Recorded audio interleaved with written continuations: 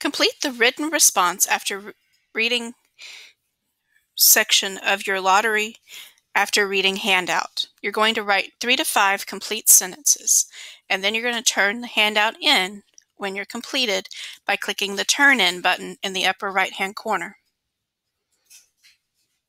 If you do not finish it within the five minutes, it will be for homework.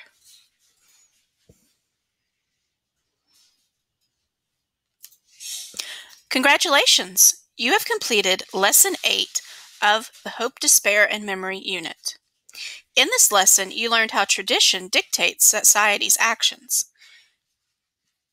You also annotated a text to find meaning.